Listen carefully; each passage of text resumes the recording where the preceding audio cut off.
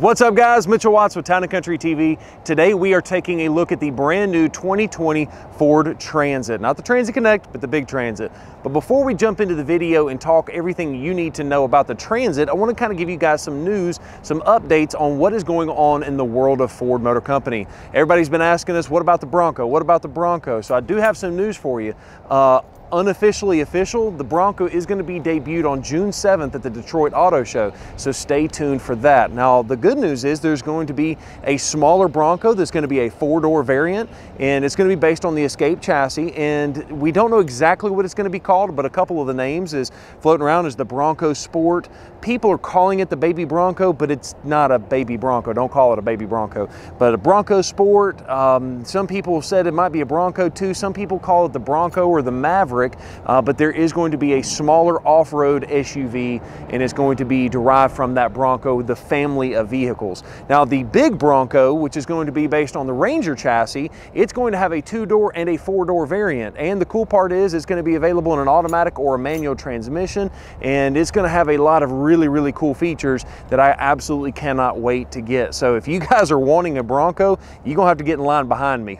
Anyways, Without further ado, let's go ahead and talk a little bit more about the reason you're even watching this video, and that is the new 2020 Transit. Talking about the sales numbers of the Transit, it's the number one selling commercial vehicle in the world right now. In fact, in the United States in 2019, Ford sold 153,000 of these things. When you talk about the next competitor, which is the Chevrolet and the GMC combined, they sold 100,000 of them. So we sold 53,000 more units of this one particular brand than Chevrolet and GMC combined combined sold. That's pretty interesting, and that's one of the reasons Ford is investing so much money in the refresh of this particular vehicle. Now, what I want to talk about is what do you have available as far as the vehicle itself is concerned? So you have a low roof, a medium roof, and a high roof.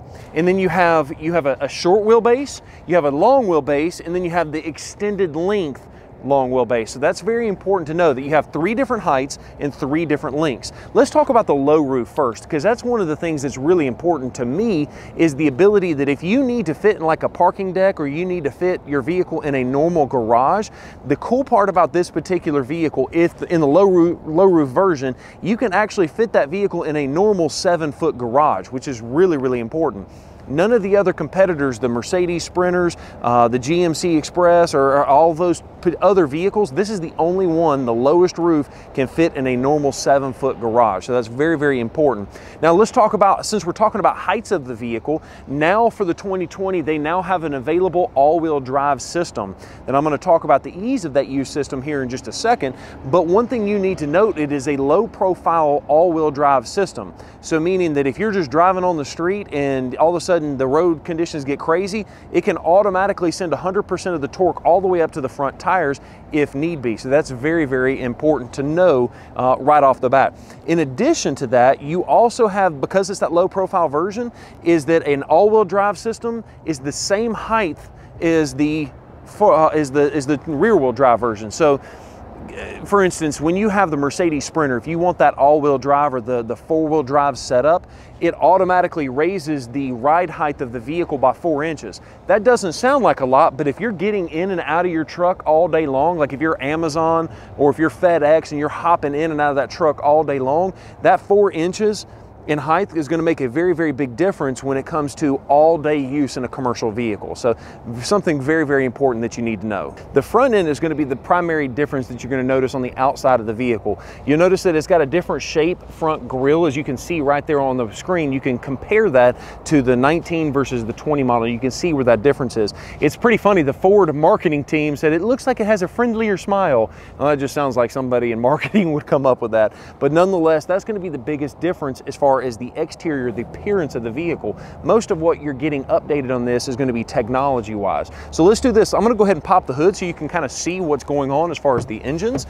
And there's some really interesting stuff going on. So this particular vehicle happens to have a 3.5 liter V6. Now the cool part about this 3.5 V6 is that it has actually passed its emissions testing without the need for auto start stop. So that's a pretty cool setup right there. Now the nice part is, is this particular vehicle vehicle, the, the engine rather, is derived from the 3.3 liter V6 that is found out of the F-150. Now it has got a lot of really nice technology like uh, port and direct fuel injection, and it allows it to get 275 horsepower, 262 pound-feet of torque, and as I've already mentioned to you, it does not, on this particular engine, not all engines, but this particular engine does not have auto start stop. So I can hear you guys are rejoicing right now for that. Now there's also going to be an Eco Blue diesel that's going to be available, and it's going to be a 2.0 liter four cylinder diesel uh, that's going to have twin turbos. So it's going to be the first time ever that we've actually had twin turbos on a four cylinder or an inline four engine. So very, very cool stuff from the Ford side of things. Now let's talk about the actual gas tank next. So the uh, for the first time ever in the Transit, you now have the available extended range fuel tank, basically a bigger fuel tank that gets you capacity up to 31 gallons on this particular setup. So it's nice that Ford is giving you the customization that you possibly are gonna need. So that way you ba basically, it's got something for everybody and no matter what you're gonna be using the vehicle for. This particular vehicle is called the Van Crew. And what that means is there is actually two rows of seats. We're gonna cover that in a minute, so please don't go anywhere. But what I wanna talk about is the passenger sliding door. So as you can see, this has got the physical sliding door where you actually have to open it with yourself. Now there is also the availability, and now it's going to be available as a late version of the 2020 model, but you actually have the ability to go with a power sliding door, which is really, really cool because that, I mean, it's just, it's nice that you've got that. And as far as I'm concerned, I don't think there's any other make or manufacturer that's making a power sliding door on a commercial style of a vehicle. Uh, let's move on up here to the headlights for a second. One of the things that I love about this is that it's got a Bi-Xenon HID headlight. And the cool part is, is it's kind of an adaptive headlight. So if you're at a stop sign or a stoplight and you start to turn that wheel, the actual headlight will turn to mimic which direction you're going so that way you make sure that you've got the light where you need it. And you'd be shocked at what kind of turning radius this thing actually has. And so that's kind of a nice feature that since it's got a nice tight turning radius, the, the light is also going to follow you in the direction that you're going. So pretty cool stuff there. Now, one of the last things I want to talk about on the exterior of the vehicle is how do you put gas in it? Because this is a commercial use vehicle. Um, it's one of the best features or designs that this is actually carryover from the last generation, but it's something that most people need to know that let, let's say that this is a church van or whatever, and it stays in the parking lot six out of the seven days of the week. Well, you don't want someone accessing your gas tank and you've been able to siphon fuel out or put sugar in your tank. And so the gas, gas door is actually here. And the cool part is you actually have to open the door to get the actual gas cap, uh, there is no gas cap, but actually get the gas door open. And then you can still shut it from there and you can fill it up. But it is truly a safety feature that you have to open the door just to access the fuel. I think it's a very smart engineering on Ford side I personally would have never thought about. Coming on the inside of the vehicle, you'll see that it is going to be very similar, but yet also a little bit different as far as the interior is concerned. You'll notice that you've got the available uh, vinyl seats. You've also got the available for cloth seats, but in addition to that, you can even even do leather seats as well. And those leather seats, I believe, are only going to come in black. Now, this is actually one of our trainer's vehicles, and you can see he's actually got this extra pillow uh, for extra lumbar support. That brings up a noteworthy conversation that this is not just a praising of the vehicle, but this particular vehicle does not have lumbar support in the actual seats. And so that's something that I would have really liked to have seen, but it is something that you need to know anyways. Now, I want to talk about a couple different things. I'm going to crank the vehicle up so I can turn the steering wheel straight and kind of show you a couple different different features. Uh, but this particular vehicle has got a different looking steering wheel. So you'll notice that the steering wheel looks more like a steering wheel from a Ford Escape than it does from the previous version of the Transit. So it's very, very important to note. Now you'll also notice that you've got the cruise control set right here, and this one is set up with the adaptive cruise control, which is very, very important. Now you need to know that this adaptive cruise control does not feature stop and go. And one of the reasons for that is because it has a physical e-brake. And so as you back the camera up, you'll see that this e-brake right here, this means that you automatically cannot have the stop and go with the uh, adaptive cruise control. So if you look at the uh, F-150s and you look at all these other vehicles that have the stop and go feature, it has got an electronic parking brake and that's what holds it while you're at a stoplight or whatever for the stop and go feature. Now while we're down here looking at this I do want to show you you also have a power inverter located right here so that way you've got easy access to 110 volt outlet right there off the get-go. Now you'll notice that this door is a little bit loose. Forgive that because it is a pre-production prototype vehicle. In fact, this is the 108th Ford Transit that they ever made for this 2020. So this is actually never going to end up seeing a customer. Um, they'll probably put it into some research and development, some long-term testing and some stuff like that, but it is something you need to note nonetheless. Now the next thing that's different on the 2020 is going to be this dashboard. You'll see that it's got a lot of different extra pockets down here so you can put your crap there. Um, it's kind of funny how times how many times you see these commercial work vans that people they'll take their old Taco Bell and throw it up at the front. They'll take it uh, and put, you know, their maps or their invoices. This is a great extra piece of storage for you right here. And one of the ways that they did that is that the old GPS screen was kind of slanted forward and it basically reduced the amount of space you could have up here. What they did is they brought the dashboard forward and then they also put this uh, Sync 3 touchscreen, which is an available option. But the nice part about that is it also comes with Apple CarPlay and Android Auto. In addition to that, you also have the ability to go with a Wi-Fi hotspot. So if you're working out of the vehicle, you've got that taken care of as well. A couple of other really nice features that you need to know about. I'm gonna turn the volume down just to make sure it's not blaring. But you've got these, I'm gonna drop it and drive so you can see it, but you've got the uh, active park assist where this vehicle will parallel park itself and perpendicular park itself. So that is a very, very cool feature right there off the bat. Now the other thing that you need to know, I'm going to turn this thing off because it is uh, dinging me to death, but you've also got a couple of different drive modes as well, and then you also have your, have your traction control icon right here. Now I've already talked about the Sync 3 system with Apple CarPlay, so I'm going to uh, focus our attention down here to these upfitter switches.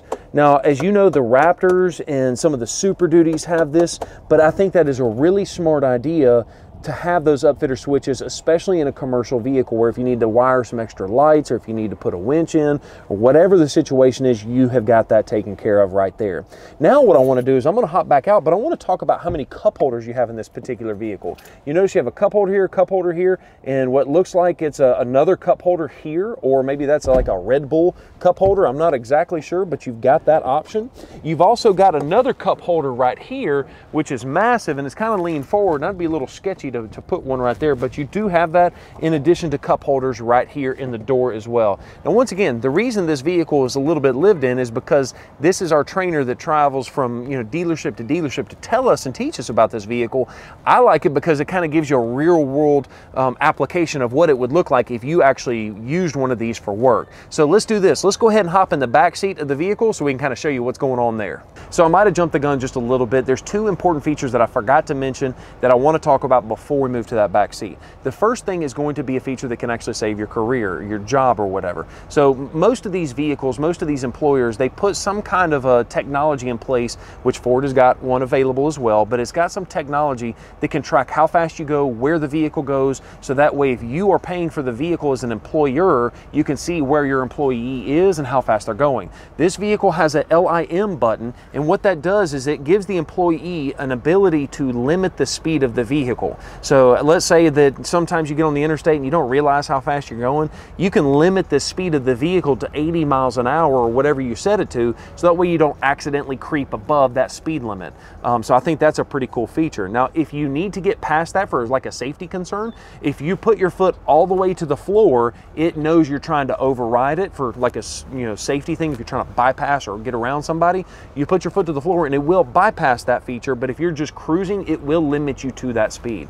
Now the next thing I want to talk about is going to be the camera setup. So as I come in here, you'll notice there's a button located right here on the dashboard. If you tap it once, for the first time available, you have a front camera. And the cool part about that is you hit the button right here, it has a 180 degree camera. So if you're pulling out of some concrete parking lot or concrete parking deck, you can actually see around that concrete pillar even if you can't see where you are with the driver. So it's really cool that it's a 180 degree view. Now if you tap the button again, it will actually bring you, oh, I guess I got to put it in reverse to do that, but you put it in reverse and as you can see right here, you've got the same 180 degree view with that rear camera as well. So a very, very nice feature nonetheless. And you can even zoom in if you need to, if you're trying to back the your truck up or the van up to a particular trailer. So a very, very cool feature that you need to know about. Okay, so now for real, let's go ahead and take a look at the back seat. All right, so now we are in the back seat of the very first version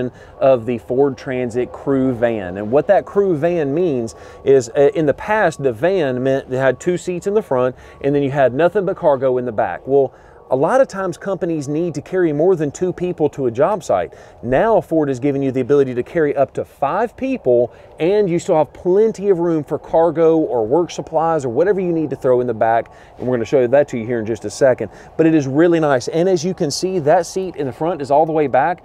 I'm six foot three, and you can see I've still got plenty of room back here.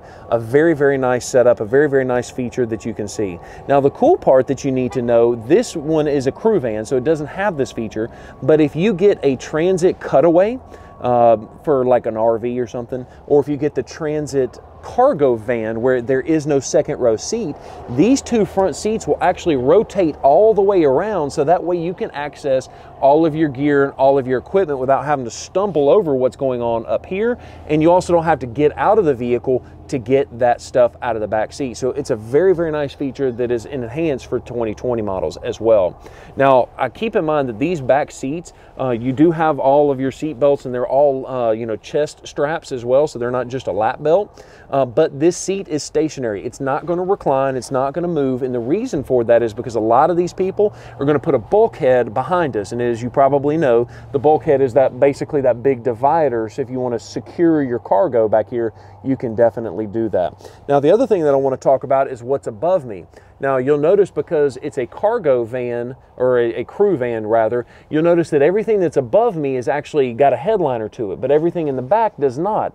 And the reason for that is because this vehicle does feature the side curtain airbags even for that second row. So you've got an extra safety feature even for the people in the back seat. So that's something that you need to know. Now if you're looking at just the, the actual van with the two front seats, the, the airbags are only going to be in the front. So once again, that's just something that you need to know. All right, now let's go ahead and take a look at the back of the vehicle.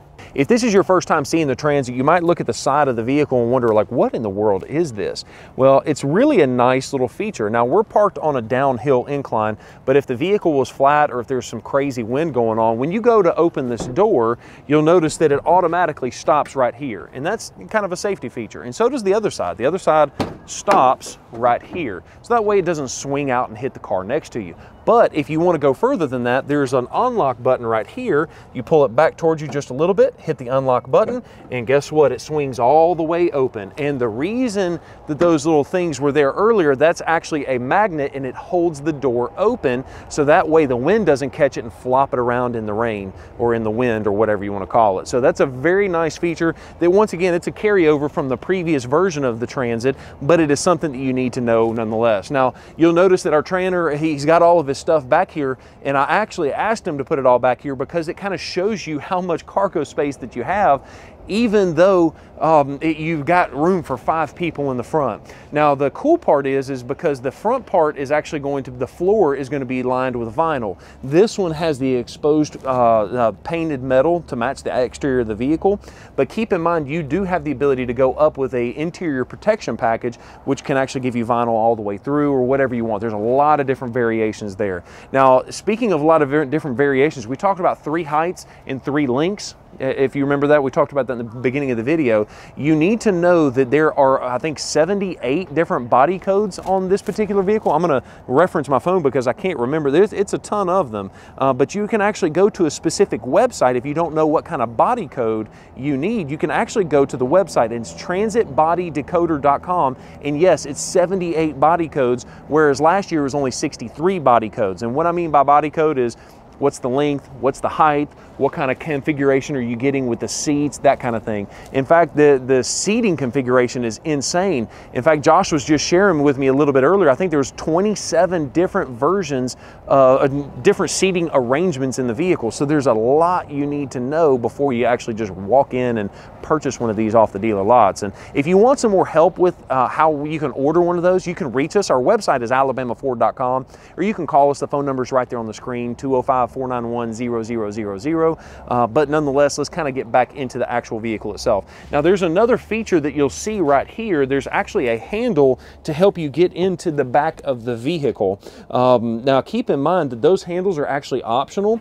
And as I mentioned to you earlier, I am six foot three and he's got some cargo back here, but I wanted to just kind of show you that I am six foot three and I can almost stand up completely. And this is the medium roof. This is not even the high roof. And so if you need some crazy amount of uh, height in the vehicle, it's definitely available to you. Now, a couple of other things that you need to consider when you're ordering your next vehicle are going to be these LED lights that we'll just put right there on the screen. It is a game changer when you're trying to work out of your vehicle at night and it illuminates the entire cargo area and it is extremely inexpensive and it's an option you definitely need to consider. This vehicle is absolutely loaded with some standard features. So a couple of other things you need to know. This particular vehicle comes standard with lane keeping assist where the vehicle will actually drive you back into the lane if your driver starts to doze off. It also has pre-collision assist where it can actually apply the brakes to hopefully lessen the severity or maybe even completely avoid an accident accident altogether. So very, very cool features there. Now, keep in mind that all of that stuff is going to be considered absolutely standard on all of them. And in addition to that, you have to look at the price point. So we've mentioned the Chevrolet Express vans a couple of times, but I think more or less this vehicle is a direct competitor with the Mercedes Sprinter van.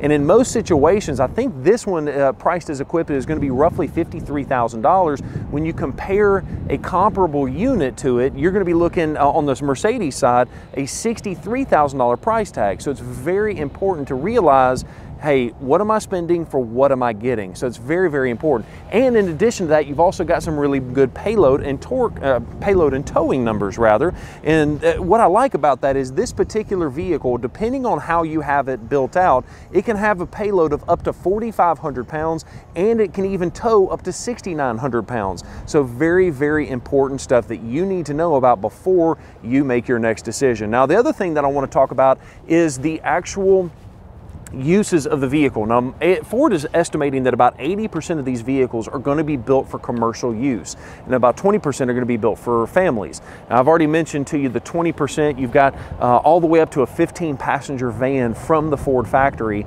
and you've got 27 different configurations for seating. So it's kind of crazy, all the different seating configurations. But in addition to that, you also have the ability to use it for overlanding, or um, you know, some people call it professional outdoorsman. you have the ability to do some wild, wild things with this vehicle, and that's what Ford is going for. So I hope you enjoyed this video. Make sure you stay subscribed to our channel so you don't miss any of our videos, and uh, make sure to hit that thumbs up button. It really does help us out in that YouTube algorithm. It, it really would help us out if this video has helped you in any kind of your decision making. And once again, if you have any questions about ordering a Transit, we'll be happy to order it and ship it to you. Feel free to reach us. The phone number is right there on the screen. Thank you so much for watching this video and have a great day.